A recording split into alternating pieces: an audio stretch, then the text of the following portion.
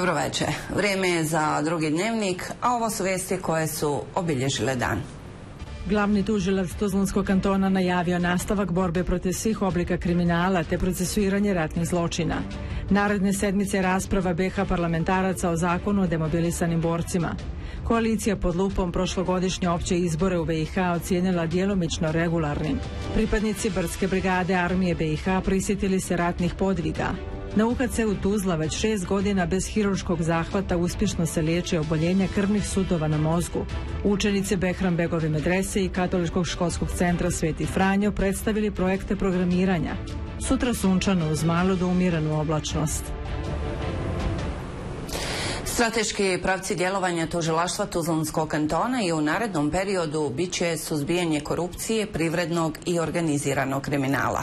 Ovo je nakon izbora za glavnog tužioca najavio Tomislav Ljubić, koji je i ranije obavljao dužnost glavnog kantonalnog tužioca. Tim od 37 kantonalnih tužioca smatra dovoljnim da se adekvatno odgovori na bilo kakav tužilački izazov. To su dokazali podizanjem prve optužnice zbog zagađenja prirodne sredine predmet koji je ovih dana uspješno i okončan. Visoko sudsko tužiteljsko vijeće konce maja za glavnog tužitelja tužiteljstva Tudlanskog kantona izabralo je Tomislava Ljubića. U Ljubićevoj profesionalnoj biografiji su sudačka, advokatska i ombusmanska praksa, a u jednom od mandata bio je i ministar pravde. Tomislav Ljubić je na ovu poziciju ponovo izabran nakon okončanog petogodišnjeg mandata. Kantonalno tužiteljstvo Tuzlanskog kantona, odnosno 37 tuštelja i glavni tuštelj zajedno s njima, ali oni su osnovne izvršenja zakona paradigma za najveći broj tušteljstva u Bosni Daleko najbolje rezultate ima u odnosu najveći broj. Pa pazite, u zadnje tri godine mi imamo skoro više podignuti optužnica u ovoj oblasti na koje građani su posebno senzibilirani nek sva tušteljstva jednog entiteta. Hapšeni su osumnjičeni direktori, ministri, državni službenici, nije bilo nedodirljivih. Pred sudovima su dokazivane optužnice za koje su izricane presude sa zatvorskom sankcijom. Pokrenuta je i istraga, potom podignuta optužnica zbog sumnji na propuste u suzbijanju onečišćenja okoline. Takvih optužnica na ovim prostorima do tada nije bilo. Završen predmet, pravomoćno okončan. Više je bitno da se pokaže pogubnost propuštanja od strani vlasnika kogoda je ja državno vlasništvo i ja privatna struktura tog vlasništva da se ne može prepustiti narušiti srazmjernost da se dobije što više para da se ne ulaže u zaštu ekološke sredine. Suzbijanje korupcije, organiziranog i prirodnog kriminala bit će u fokusu djelovanja i u narednom periodu. Radit će se i na procesuiranju ratnih zločina. Mi na ovom području, barem do sada, ne znamo da li drže neke predmete, u tuštestu BiH nismo imali problema, ovo nije područje bilo ratnih zločina, pogotovo ne njegovog sistematskog činjenja. Ekscesi koji se dogodili sa one pojedinaca koji su takav zločin počinili su došli bez ikakvih problema. Ovaj, došli su na udar pravde. I ti se predmeti završavaju na korektan jedan način, međusoban i tu, kažem, nikak, do sad nikakvih problema nije. Šta tamo stoji, mi ne znamo. Ali ćemo raditi, evo, građani Bosne i Hercegovine očekuje raščavanje te oblasti. I govorilo se da će par predmeta doći na ovo područje, on će odmah, u odnosu na naše tuštstvo, on će odmah imati prioritet. Da ih se razriješi na jedan pravičan način. Znači da tražimo pravdu pred sudom i za svaki taj slučaj eventualnog zločina ako je počinjeno strane toga koji bude došao pod udar pravde. Novi i stari glavni tužitelj navodi kako nema sumnje da će 37 kantonalnih tužiteljica i tužitelja uspješno nastaviti pravnu borbu protiv svih oblika kriminala. U tome im pomaže i uvjetni prostor za rad u postojećem objektu, nedavno obnovljenom sredstvima Europske unije. Nakon što je u proteklom periodu o lokaciji budućeg odlagališta šljake iz termoelektrane razgovarano sa predstavnicima grada Tuzle i općine Lukavac, premijer Tuzlanskog kantona Jakub Suljkanović danas je na ovu temu razgovarao i sa direktorom termoelektrane Tuzla Izetom Đananovićem. Posjećamo lokaciju budućeg šljačišta je neophodno odrediti kako bi se pristupilo izmjenama i dopunama prostornog plana Tuzlanskog kantona, a time i stvaranju preduslova za izgradnju bloka 7.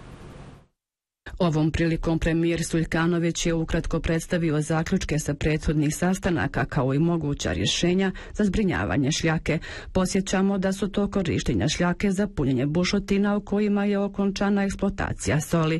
Kada je riječ o lokaciji Šečki brod, premijer Suljkanović je upoznao predstavnike termoelektrane o stavu predstavnika lokalnih zajednica. Direktor termoelektrane je izrazio spremnost da termoelektrana poštuje sva zakonska i na u utemeljena prava. Spremni smo finansirati izradu studije i poštovati sve nalaze, te šljaku o svom trošku dopremiti na lokacije koju struka utvrdi kao pogodnu i prihvatljivu. Nakon današnjeg sastanka je dogovoreno da se u narednom periodu u vezi ove teme upriliči zajednički sastanak kojem bi osim premijera i direktora učestvovali gradonačelnici Tuzle i Živinica te načelnik općine Lukavac. Sud Bosne i Hercegovine je proglasio je Maksima Božića i jedina Hastora krivim zbog planiranja da počine teroristički napad u istočnom Sarajevu i Tuzli i osudio ih na ukupno šest i po godina zatvora. Božiću je izrečena kazna od četiri, a Hastoru od dvije i po godine zatvora.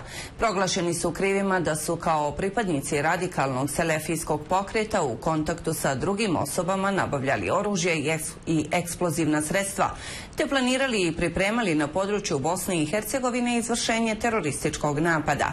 Na ovu presudu postoji mogućnost žalbe. Policijski službenici Uprave policije Ministarstva unutrašnjih poslova Tuzlanskog kantona danas su proveli veliku akciju u kojoj su između ostalog zapljenjeni droga, oružje, municija, više tehničkih uređaja, prehrambenih proizvoda i drugi predmeti. Pretresi su obavljeni na deset lokacija na području Tuzle, Lukavca, Gračanice, Živinica, Srebrenika, Gradačca i Brčko distrikta. Nakon kompletiranja predmeta bit će podneseni izvještaj kantonalnom tužilaštvu Tuzlanskog kantona protiv pet osoba, a u slučaju pozitivnog nalaza vještačenja oduzetih materija nadležnom tužilaštvu će biti dostavljeni izvještaj protiv još pet osoba. Vlada Federacije Bosne i Hercegovine utvrdila je tek zakona o pravima demobilisanih boraca i članova njihovih porodica kao i rebalans budžeta za ovu godinu i uputili ga u parlamentarnu proceduru. Očekivanja demobilisanih boraca bila su da do danas 4. jula budu sazvane sjednice oba doma federalnog parlamenta. Međutim, to se nije desilo. Prema najavama o ovom tekstu zakona parlamentarci će se očitovati tek naredne sedmice. Svako odgađanje sjednice oba doma parlamenta federacije dodatno usložnjava donošenje i primjenu prava demobilistanih boraca propisanih zakonom, smatraju u Savezu demobilistanih boraca Tuzlanskog kantona. Navode da su u budžetu Federacije Bosne i Hercegovine osigurana sredstva koja pripadaju demobilisanim borcima. Budžetom Federacije Bosne i Hercegovine je obezbijeđeno 25 milijuna konvertibilnih maraka i mi očekujemo evo, da, da će na poziv radne grupe i na poziv Boračkih saveza i udruženja i na prijedlog ministarstva doći do, do tog da parlament federacije bih i domovi usvoje ovaj zakon po hitnoj proceduri. On je trebao biti usvojen danas četvrtog prema stavu radne grupe i prema stavu borački, predstavnika boračkih populacija, ali imamo najave da će on biti usvojen tek naredne sedmice.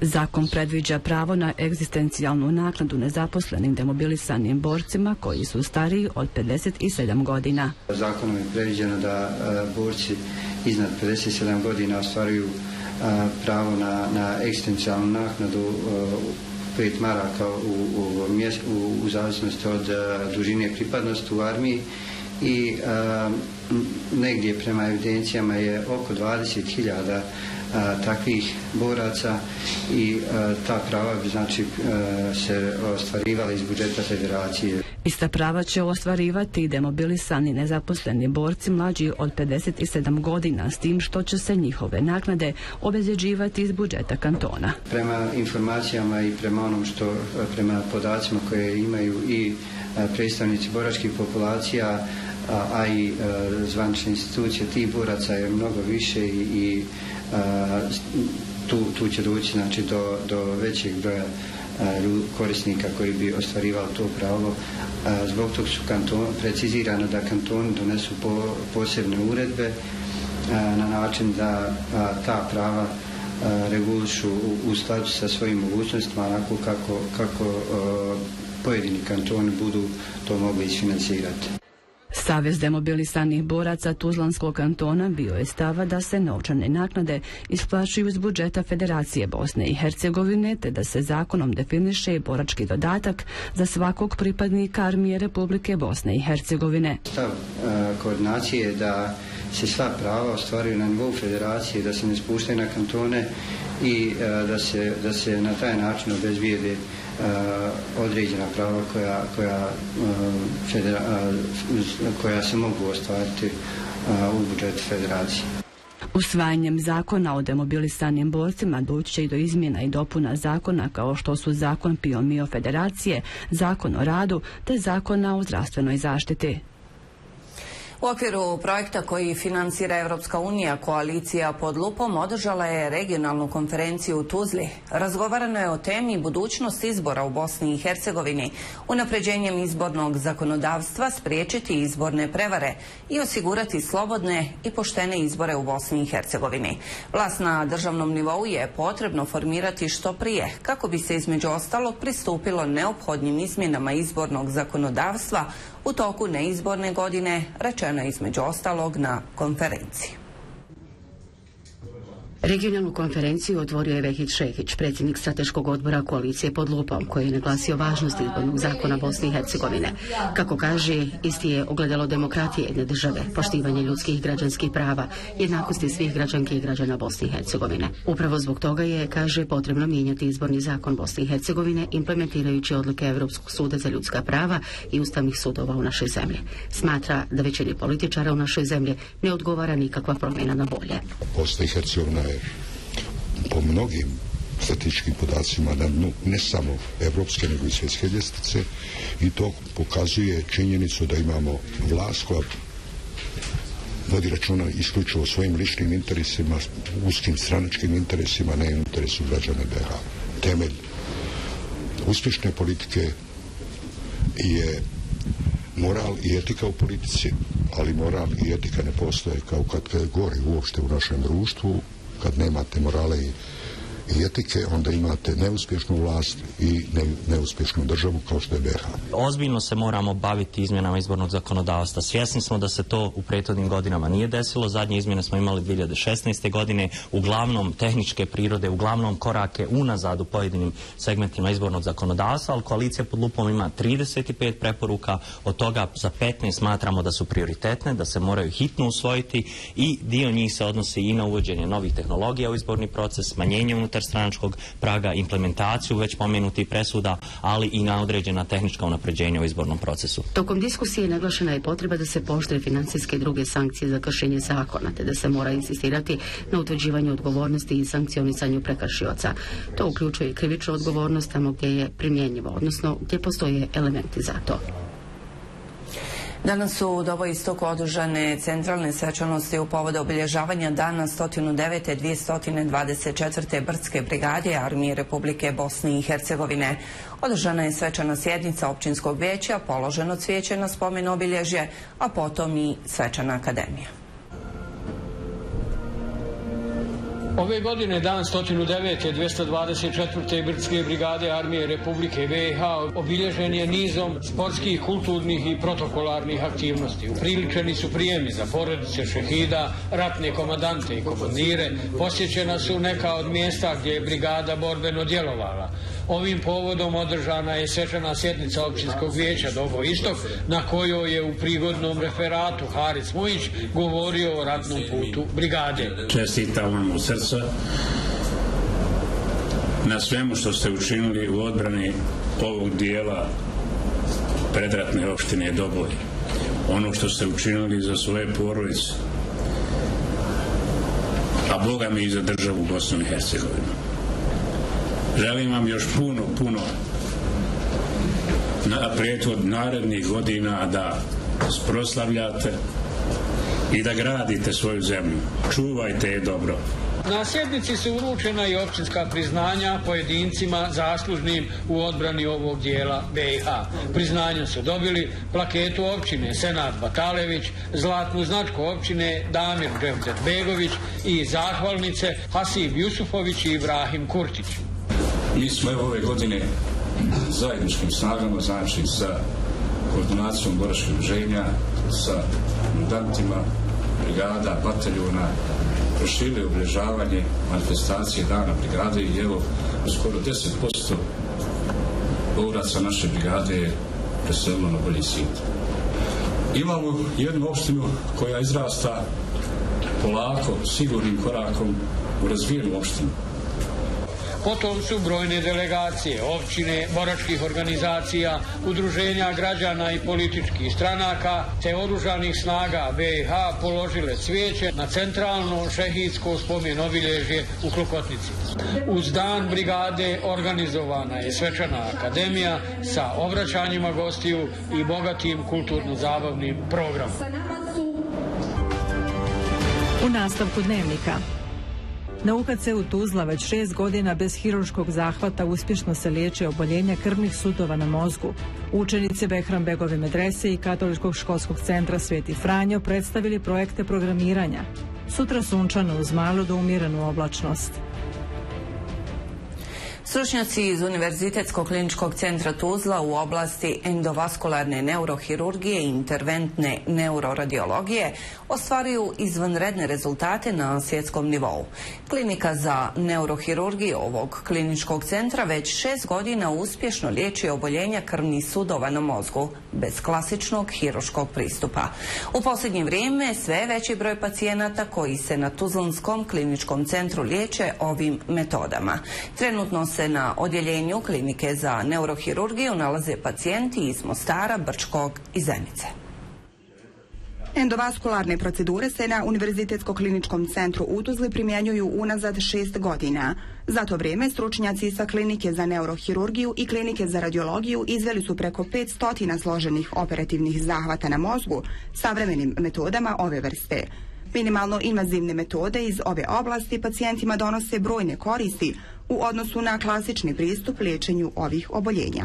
Naime, kad imate oboljenje krvnih sudova na mozgu, kako je recimo proširenje na krvnom sudu koje nazivamo neurizma ili suženje krvnih sudova na vratu koje zovemo stenozom karotidne arterije ili urođene anomalije krvnih sudova u mozgu, onda je moguće to oboljenje rješavati uslovno rečeno klasičnim putem koji podrazumijeva kraniotomiju ili otvaranje lobanja, a isto tako moguće oboljenja liječiti minimalno invazivnom metodom koja podrazumijeva da nema otvaranja lobanje, podrazumijeva nešto kraće, kraću hospitalizaciju, podrazumijeva konforniji tog za pacijenta, vrlo često je moguće proceduru raditi u lokalnoj anesteziji, a i sami rezultati su u određenim slučajevima bolji. Usluga u oblasti interventne neuroradiologije pacijentima nigdje u Bosni i Hercegovini se ne može pružiti u formi 24 kroz 7, izuzev Univerzitetskog kliničkog centra u Tuzli.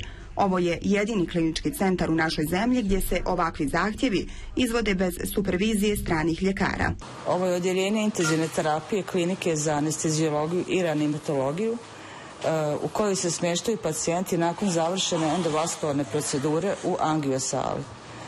E, pacijenti se smještaju u odjeljenje intenzivne terapije e, gdje ostaju e, najčešće 24 sata, po potrebi i duže, i gdje se anestezijolozi i medicinsko osobe brinu o njihovom oporavku. Prije uvođenja ovih procedura na Univerzitetsko klinički centar u pacijenti su upućivani van granica Bosne i Hercegovine. Ove metode u svijetu koštaju nekoliko desetina hiljada eura. Situacija u našoj zemlji dosta je prikladnija. Jako je bitno spomenuti da e, troškove liječenja naših pacijenata koji dolaze sa područja federacije u skoro u potpunosti ili u potpunosti snosi federalni fond zdravstvenog osiguranja ili osiguranja i mi smo uvažavajući e, činjenicu da su i oni prepoznali ovdje e, način da se postigne vrhunska medicina, odnosno da se radi vrhunska medicina i da se naprave i određene uštede u zdravstvenom sistemu. Imamo jako korektan odnos svih ovih šest godina. Klinika za neurohirurgiju već godinama provodi projekte koji za primarni zadatak imaju poboljšati kvalitet zdravstvenih usluga stanovništva naše zemlje. Jedan od tih projekata je i endovaskularna neurohirurgija koja je rezultat multidisciplinarnog rada više klinika, klinike za neurohirurgiju, klinike za radiologiju i klinike za anesteziologiju i reanimatologiju u kojoj učestvuju ljekari, medicinski tehničari obje, odnosno svih ovih klinika. Cilj ovih projekata jeste okupljanje i uključivanje mladih ljekara u ove projekte s obzirom da na taj način omogućavamo njihov ostanak u Bosni i Hercegovini, da ne idu vani, nego da sve te svoje znanje mogu prezentirati ovdje u Bosni i Hercegovini. Na kliniku za neurohirurgiju Univerzitetskog kliničkog centra Tuzla dolaze pacijenti iz cijele zemlje, a trenutno se na odjeljenju nalaze pacijenti iz Mostara, Brčkog i Zenice. Stručnjaci klinike za neurohirurgiju ne planiraju se zaustaviti na ovim metodama, već su počeli raditi na novim procedurama koje će ih zasigurno zadržati na nivou svjetskih stručnjaka. Ukupno 198 učenika Tuzlanskih srednjih škola učestvuje na ljetnom institutu čiji je domaćin Behram Begova medresa, organizator inicijativa za lokalni razvoj u Bosni i Hercegovini. Ove godine pohađaju časove programiranja, a među predavačima su i neki od polaznika ranijih kurseva ovog instituta. Ovo je 11. godina otkako inicijativa za lokalni razvoj u Bosni i Hercegovini organizuje Tuzlanski ljetni institut za srednjoškolce. Ranije su učili strane jezike, a ove godine uče nekoliko različitih programskih jezika jer su takva znanja najtraženija na tržištu rada, kažu organizatori. IT sektor treba puno, puno radnika, puno radnika, nema dosta. I svake godine ima manje djeca ovdje. Za radionice su se učenici prijavljivali individualno, a tradicionalno ih je najviše iz Behrambegove medrese i gimnazije Katoličkog školskog centra i naši učenici dakle kroz e, ovu suradnju imaju prigodu sudjelovati u vrlo zanimljivim radionicama. Prije svega tu mislimo na IT sektor koji je danas jeli vrlo aktualan, e, tako da smo to prepoznali kao vrlo važno i ponudili našim učenicima mogućnost, tako da i oni aktivno sudjeluju, a također ono što je jako bitno bilo je puno zanimljivih radionica prošlih godina iz oblasti poduzetništva. Radionice Ljetnog instituta unazad deset godina prošlo je više od hiljadu učenika kažu u medresi koja je ovog ljeta domaćin događaja. Svaki polaznik može da odebere jedan ili više aspekata kojim, kojim će se baviti. Nekada smo imali po nekoliko sedmica, dakle po tri, četiri sedmice ove godine je to jedna sedmica. Uz nastavak, dakle, tokom školske godine nastavlja se dakle, edukacija u, u, pogledu ovih kompjuterskih programiranja. Dakle, radi se o jednom vrijednom projektu, jednom e, praktičnom podučavanju od 2010. do danas kroz obuku je prošlo i 15 današnjih trenera, među njima i Mladen Ristić, nekadašnji gimnazijalac iz Doboja. E, ja sam prije nekoliko godina učestvovao u Dobojskom ljetnom institutu. E, nakon toga sam ponovo došao u kontakt sa njima u toku Build IT e, obuke pete generacije koja, se koja je počela 2017. godine. E, kroz nju sam naučio osnovne, jeli, osnovne vještine potrebne za, za E, dobivanje posla kao programirate sam prošle godine e, u junu dobio svoj prvi posao i evo sada dakle imam već jednu godinu iskustva i idem dalje. Edukacija ne traje dugo, ali je vrlo efikasna, kažu organizatori Tuzlanskog ljetnog instituta, naglašavajući da se većina polaznika koji su obuke iz programiranja prošli ranije već zaposlilo u sektoru informacijskih tehnologija. Učesnici trećeg naučno-istraživačkog kampa za mlade prezentirali su rezultate višemjesečnog rada na završnoj konferenciji održanoj u Lukavcu. Radovi su objedinjeni i objavljeni u publikaciji. Također je prezentirana metodologija rada sa mentorima. Naučne kampove i današnju konferenciju organizovali su predstavnici Zelene staze Green Tour iz Tuzle i udruženje Toper iz Doboja uz financijsku podršku ambasade Sjedinjenih američkih država u Bosni i Hercegovini. Prvi naučno-istraživački kamp za mlade bio je 2015. godine na planini Konjuh, a drugi 2017. na Hajdučkim vodama u opštini Teslić. Treći kamp 2018. godine na Tjentištu i u Prijedoru obuhvatao je radionce, posjete institucijama i volonterske akcije. Pod mentorstvom univerzitetskih profesora učesnici su izučavali nekoliko naučnih disciplina i pisali radove. I moramo kazati da smo mi na kampovima, pa i danas na konferenciji, imali priliku da okupimo mlade iz 30 općina oba BH entiteta i distrikta Brčku. Dakle, to je veliki uspjeh, mladi zajedno istražuju, mladi zajedno se druže, mladi zajedno se povezuju i sklapaju zajedničke dogovore i projekte koji će zasigurno zaživjeti u narednom, narednom periodu. Osim udruženja poput Zelene staze Green Tourist Tuzle, Toper iz Doboja, Eko Leonardo Priboj, Sara Srebrenica, Vrisak Mostar, Vijeća mladih iz Lukavca i Teslića, sudjelovalo je mnoštvo studenata sa fakulteta u Tuzli, Travniku, Bihaću, Banja Luci, Doboju i drugih. U toku kampova smo imali razne radionice, te stručne i druženja, neke ove um, sadržaje koji nisu vezani za to. Um, zatim mi smo radili rad na temu uh, problema, problema mladih vozača, njihovih znanja i stavova kako oni utječu na bezbjednost saobraćaja i, i čestih tih nekih zabluda u vezi saobraćaja, u vezi sigurnosnog pojasa i slično. Ono što smo mi radili na ovom kampu bilo je međuljudski odnosi i odnosi sa ljudima. Znači ono što je suština jeste da ovaj kamp mene podstakao i da pišem i pjesme i poezije i svašta i, i velika mi je želja da nastavim ovu, znači da se nastavi ovaj kamp i druženja i sve. Radili smo na temu edukacija putem muzike. E, stekli smo dosta znanja, vještina i sposobnosti i nadam se da će nam to poslužiti u daljem našem profesionalnom i ličnom razvoju. I također željela bih da kažem da bih voljela da se nastavi ovaj kamp jer mladima zaista pruža mnogo mogućnosti za upoznavanje novih, zanimljivih ljudi, ali i za razvoj ličnih i profesionalnih vještina. Studenti kažu da su profesori bili strpljivi, susretljivi, da su o svemu mogli razgovarati i da su se tako rađale ideje. I na kraju ako imate želju da se neko svaki put ponovo prijavi, ponovo dolazi, onda mislim da, da e, možemo reći da smo uspjeli. Također uspjeh projekta je da mi nastavljamo sa idejom kroz program, nastojat ćemo da obezbedimo i mimo donatorskih sredstava, slično ovako, ne mogu reći okupljanje, ali ja ću ipak reći ovakav rad. Cilj održavanja naučno-istraživačkih kampova je afirmacija međuetničke saradnje, volonterizma i jačanja uloge mladih u društvu. Toliko u dnevniku, u nastavku sportske vijesti. Hvala za pažnju i ugodan ostatak večeri.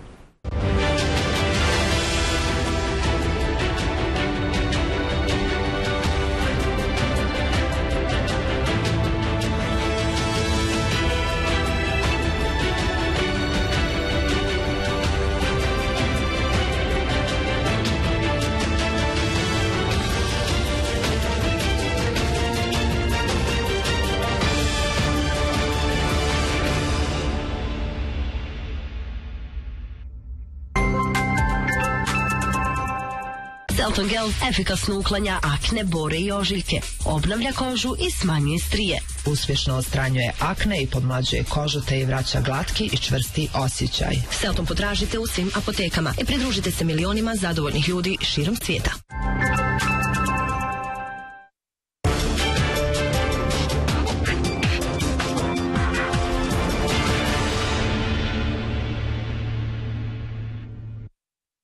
BiH košarkaški reprezentativci okupili su se prije četiri dana u Iliđanskom hotelu Hills, koji odnedavno ima i odličnu dvoranu, koju su pod navodnicima otvorili upravo igrači koje je pozvao selektor Vedran Bosnić.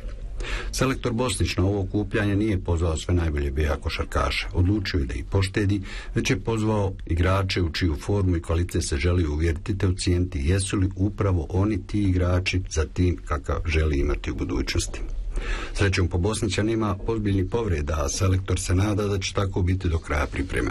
Planirano je u Kinu voditi 12 igrača, ali odlučio da će put Azije krenuti 13 kako bi imali što širi roster. Prema ranije određenom planu, reprezentacija Bosne i Hercegovine 9. jula u ranim jutarnjim satima putuje na turnir u Kinu, gdje će ostati sve do 23. jula. Radovi na olimpijskom stadionu u Tokiju su pri kraju i do kraja ove godine 1,3 milijarde dolara vrijedan stadion će biti otvoren, objavili su organizatori olimpijskih igara koje će se 2020. godine održati u glavnom japanskom gradu. Službeno otvaranje stadiona je planirano 15. decembra, a prvi sportski događaj na njemu bit će finale japanskog nogometnog kupa 1. januara iduće godine. Na stadionu kapaciteta 60.000 gledalaca bit će svečano otvaranje i zatvaranje olimpijskih i paraolimpijskih olimpijskih igara te atletska takmičenja. Radovi na stadionu traju već tri godine. Gotovo sve zgrade su završene, a sada se radi na opremanju interijera i objekta unutar stadiona. Trava i staza tek trebaju biti položeni, a očekuje se da će se to završiti u sljedećem mjesecu.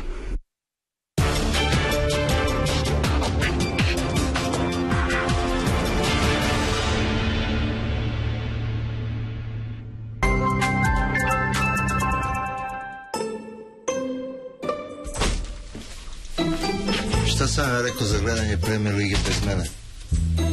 Moja TV, moja brza ušteda. Vi birate veća brzina, manji troškovi ili dodatni paket besplatno uz dodatni poklon za sve. Moj izbor je Moja TV. BH Telekom, moja priča. Želite mlađu kožu bez bora, akni, ožiljaka i strija? Izaberite najbolje. Selton od sada je dostupna u svim ljekarnama. Inhaliranje zrakom iz pčelinjih košnica pomaže u liječenju astme, bronhitisa, upale sinusa, kožnih infekcija, alergija i drugih bolesti. Zakažite termin u Apikomori Selimović, Gornja Tuzla.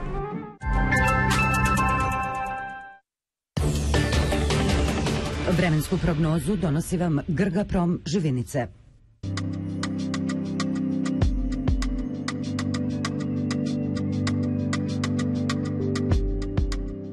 Bosni i Hercegovini danas je bilo sunčano uz umjerenu oblačnost, ponegdje s pljuskovima.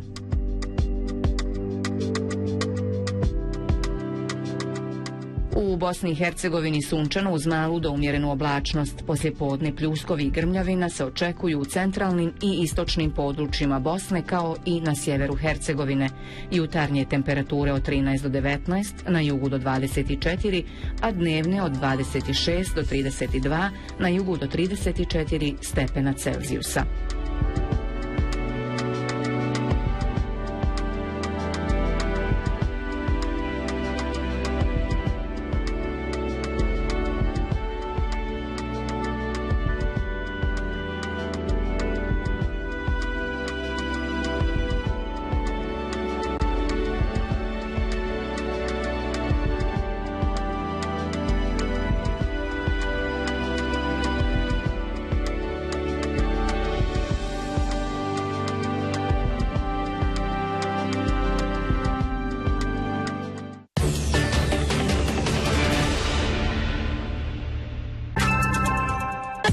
Velika akcija u Grga promo. Komode od 150, namještaj za odlaganje za dnevnu sobu od 180 maraka.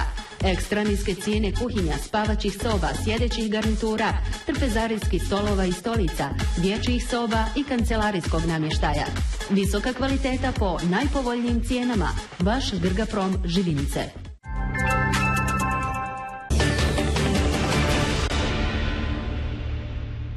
Biometeorološka prognoza je povoljna. Mjestimični pljuskovi uz lagani pad temperatura uslovit će ugodnije biometeorološke prilike, mada se i dalje treba pridržavati mjera zaštite od sunca i vrućine. Planirane aktivnosti poželjno je obaviti tokom prije podneva.